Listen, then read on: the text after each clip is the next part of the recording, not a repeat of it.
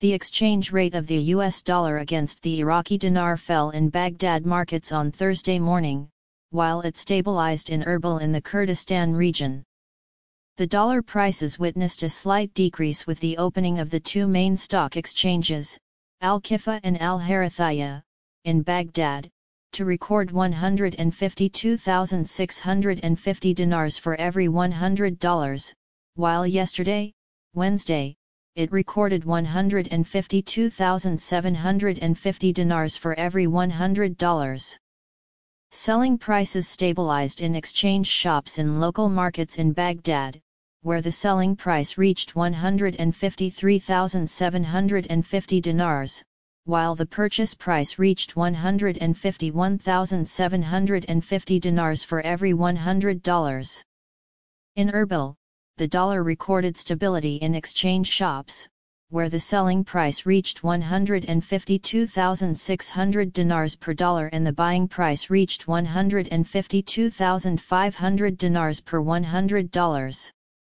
Oil prices rose more than 1% on Thursday, roughly reversing losses from the previous session, as tensions in the Middle East returned to focus ahead of the U.S. election despite mixed U.S. fuel inventories.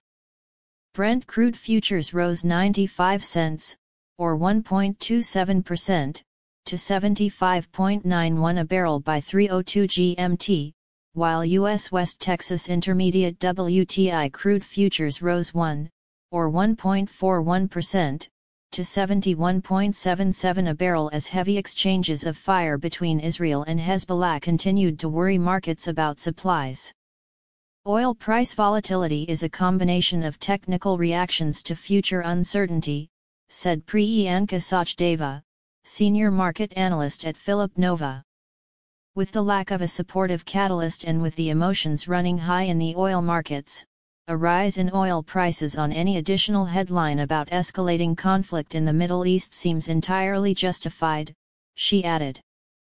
U.S. crude inventories rose by 5.5 million barrels last week, the Energy Information Administration said on Wednesday, compared with analysts' expectations in a Reuters poll for a 270,000 barrel increase.